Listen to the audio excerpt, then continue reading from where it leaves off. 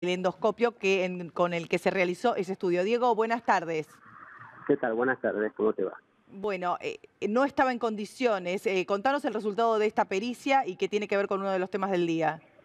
Sí, precisamente dos peritos ingenieros de la UBA que hicieron una pericia sobre el funcionamiento del equipo endoscópico determinaron que así como está el equipo, que es el secuestrado en la causa,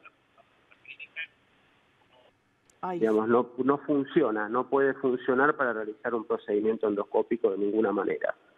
O sea, por un lado tenemos que el equipo no funciona, ¿sí? que ya lo han determinado los peritos, y por otro lado otro dato que arroja también este informe pericial es que el número de serie, la chapa que identifica al equipo endoscópico está limada, está adulterada como cuando uno escucha en, un homicidio cometido por una banda, por un arma de fuego que tiene los números limados, bueno, esto es exactamente lo mismo, solo que en un equipo endoscópico, en un quirófano. Claro, vos es que yo desconozco, no sé cómo es el control de estos eh, equipos. Uno supone que cuando se va a hacer un equipo, cuando se va a hacer un estudio, los equipos están en condiciones. No sé quién es el encargado de controlar los equipos con los que realizan este tipo de estudios. Mira, obviamente vos o cualquiera que va a, hacerse un estudio no está mirando que esto funcione o no funcione, esas tareas del médico. Claro. el médico tiene un protocolo que seguir para corroborar que funcione todo adecuadamente antes de hacer cualquier procedimiento o cirugía. Eso por un lado. Y por otro lado, previo a eso, existen los, los controles y los servicios que se realizan en toda la parotología del hospital permanentemente, que eso es muy riguroso también está todo documentado, inventariado y entendemos que a eso también apunta esta adulteración en el número de serie, precisamente imposibilitar el, el control de la justicia ahora para ver cómo se habían llevado a cabo esos servicios, y se habían hecho, si este es el endoscopio que se utilizó o no, que nosotros pensamos que no desde el primer día, pero bueno, todo eso es lo que buscan justamente generar toda esa, esa duda en el expediente y a partir de eso esta adulteración.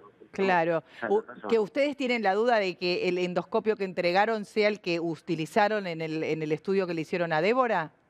Sin ninguna duda, en el primer momento pensamos que es así. Primer circunstancia que se da, y esto ya tiene que ver con la irregularidad propia del primer magistrado que intervino en la causa, que tuvo que renunciar a los dos meses por las serias irregularidades que cometió, entre ellas en esta. Ahora estamos viendo las consecuencias no hizo el allanamiento como establece el procedimiento, inmediatamente de conocido el hecho ilícito, y secuestrar el endoscopio que se utilizó, y como no hizo eso y recién tres días más tarde, a requerimiento nuestro, decidió allanar, se encontró tres días con que la clínica había preparado este endoscopio, lo había embolsado y lo había precintado, esperando que la justicia venga tres días más tarde a buscarlo. Bueno, creo que contaron con el tiempo suficiente como para que si tenían la intención de cometer una irregularidad, bueno, el tiempo les dio. Y evidentemente ahora encontramos la irregularidad. El número de series limado, el aparato no funciona. ¿Por qué tengo que pensar que este equipo es el que se utilizó entonces en el cuerpo de una si encima me dicen que no funciona? Claro, qué confusión, qué, qué, mal hecho todo, ¿no? Eh, que como, eh, lo que pasa es que fue un caso tan impactante que a partir de ahí vos no sabes la cantidad de consultas y de gente que tenía miedo, porque eh, el estudio que se hizo Débora es súper común, todas las personas se hacen no sé cuántos en la Argentina y realmente fue una noticia que, colapsó un poco los hospitales y los sanatorios. La tasa, de mortalidad es, bajísima, es Cero, insignificante casi eh, cuando se hace en este estudio, porque no pasa nunca esto. Pero acá lo que pasó, y mejor dicho, te voy a decir un dato que tiene que ver con la realidad. Hoy, hace más de un año que falleció Débora, la clínica nunca, ni a la familia, ni a la sociedad, ni en el expediente dio una explicación de qué pasó con Débora. Claro. Por eso la gente también tiene derecho y tiene razón en tener miedo a hacerse este estudio en este lugar. Si cometieron semejante barbaridad, que le, le privó la vida a una persona sana, 20 minutos después de hacerse un procedimiento de rutina, un año y pico más tarde, todavía no sabemos qué pasó.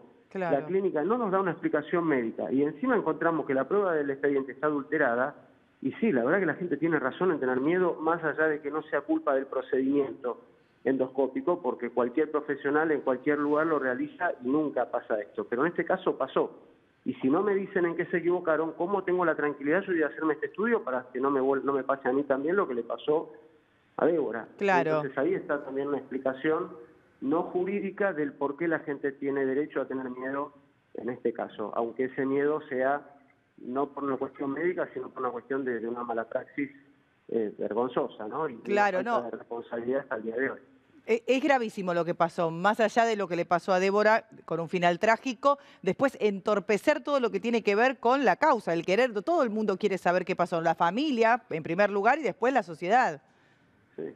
Y vos pensás que a la familia del primer momento hasta el día de hoy le dijeron que no habían hecho nada mal, que no sabían por qué pasó lo que pasó con Débora, que no, no, no dieron ninguna explicación. Pero después, en la, en la opinión pública, en un comunicado de prensa que hicieron salieron a hablar, a mentir, a encubrir, porque salieron a decir que Débora tenía una patología preexistente, que te hago una pausa, ya la autopsia dijo que eso es falso, que Débora no tenía ninguna patología, sino que se murió solo por este procedimiento, y salieron a intentar embarrar la cancha diciendo cosas falsas para que la gente desvíe la atención de la gente y no esté pensando en esto que ya conocemos en la causa por los informes periciales, que es que la responsabilidad es pura y exclusivamente de los médicos que intervinieron en el cuerpo de Débora. Bueno, Diego, muchas gracias por, por esta aclaración. Ahí estaremos todos los medios de prensa continuando con, esta, eh, continuando con la investigación, acompañando a la familia para que se sepa. Me parece que a veces los medios hacen como mucha fuerza para, eh, desde el primer momento, me parece que intentaron que la causa se, se, acalle y bueno, eso no pasó. Ni va a pasar. no te das una idea de lo que vale para nosotros y para la familia el apoyo que ustedes nos dan para que hoy podamos estar a las puertas de un juicio oral y que no hayan podido llevar adelante todas las maniobras que se intentaron. Así que muchísimas gracias a ustedes. Muchas gracias. Diego Pirota, abogado de la familia Pérez Volpi. Hoy es la noticia del día justamente que tiene que ver con el endoscopio que no eh, funcionaba correctamente y encima tenía ahí eh, adulterado el número de...